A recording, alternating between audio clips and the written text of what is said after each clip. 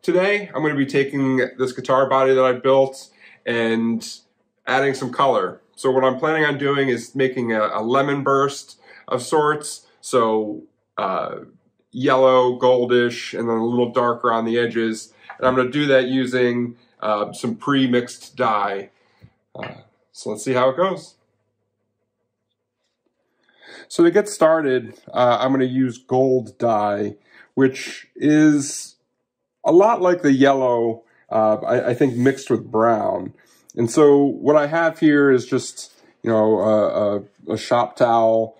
Obviously I got gloves on and, you know, this is an alcohol-based um, dye, if I'm not mistaken. And so what I can do is just rub this on here. It should dry pretty quickly, you know, something like you know, 30 minutes or an hour. And at least the, the intent here is to put the, the darker gold on to get it all in the, you know, get, uh, stay in the maple, um, to, to really get the quilted figure to, um, to pop. I'll sand it back a little bit depending on what it looks like. And then I'm going to go over the, the center and try and make the, the sunburst uh, shape where you sand the middle out and, and make it lighter and then go over the whole thing with yellow, you know, such that the middle of this will be uh, mostly yellow dye and then towards the edges, what you'll have is, is the gold color.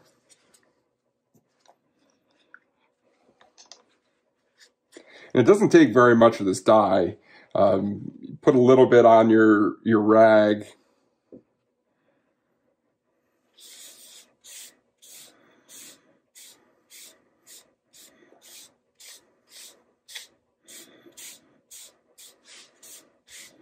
already you can see the the quilt of this guitar just going crazy.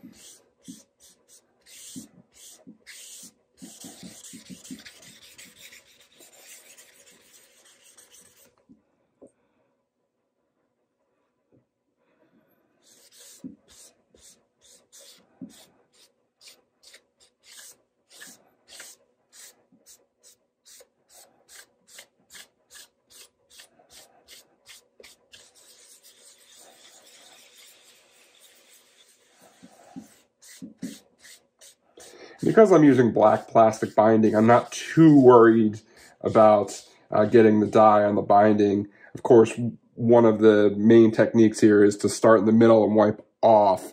If you come back this way, then you have the uh, potential of actually hitting the side with your rag, uh, getting dye where you don't want it.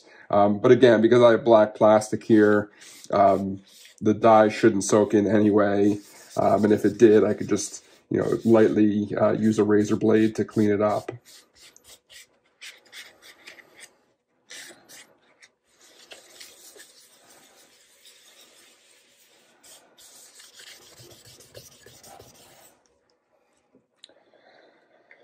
One more time here.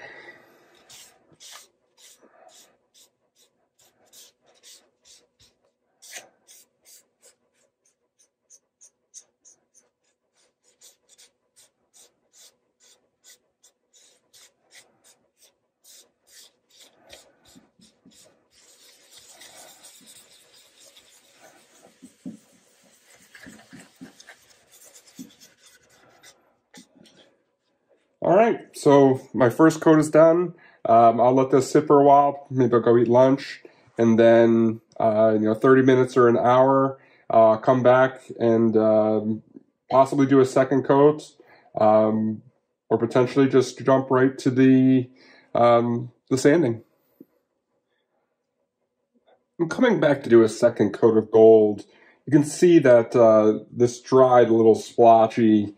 Um, I put more on, you know, this left side than the right side. And so to counteract that, I'm just going to put a second coat on, uh, and I'm going to start on this side rather than that side because effectively, I think what happened was I had just wet the rag and then done it here, so I put more on, and then I had a drier rag here. And so if I do it in, in opposite order, hopefully uh, that will reverse the um, reverse the blotchiness.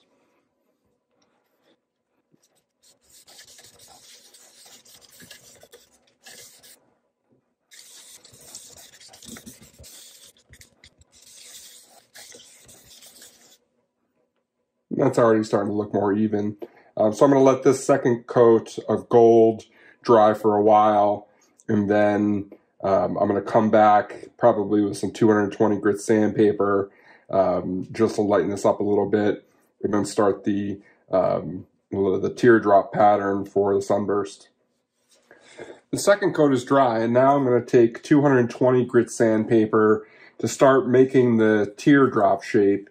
And then I'm going to go over the whole thing with 320 grit uh, just to make it smooth and to lighten up some of the edges. And then once the sanding piece is done, I'll go over the whole thing with a coat of yellow dye and hopefully that will be it.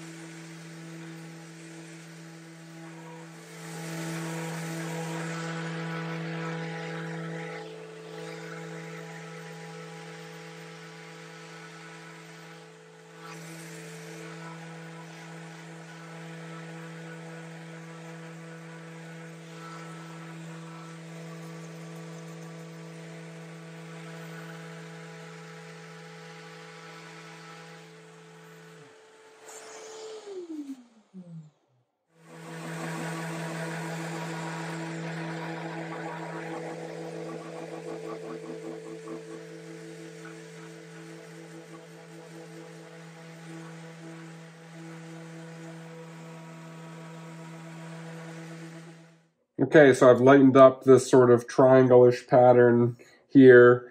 Um, I've gone over the whole thing with 320 just to lighten it up a little bit. And so the last bit is to add in uh, a coat of yellow over the whole thing, um, which I think is really going to make uh, the color um, really vibrant.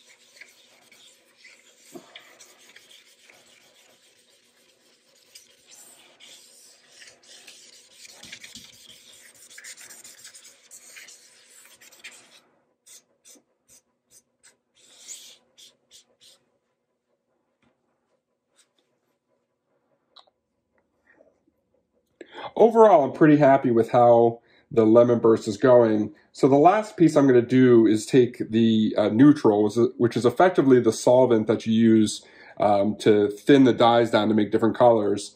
I'm going to put it on my rag and wipe away in the middle just to further highlight um, the burst effect.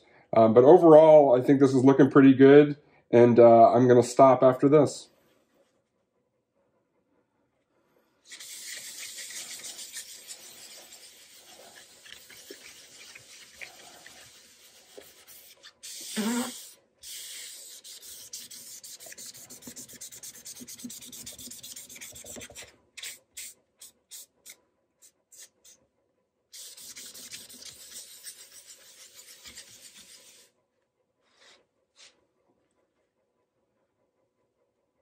Can see it takes off, you know, a considerable amount uh, onto the rag.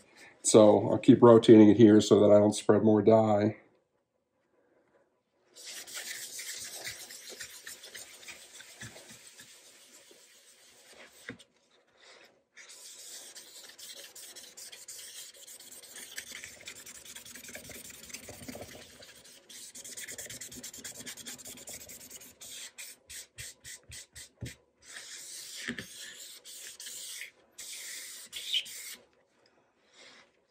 Then you can also use it to kind of smooth out the um, the edges of the transition. Um, like I mentioned at the beginning, I'm pretty sure the gold dye here is just a mix of this yellow and a little bit of brown. And so since they were already the same color, the transition's pretty smooth, but you can also just lightly go over the outside here and smooth out any inconsistencies.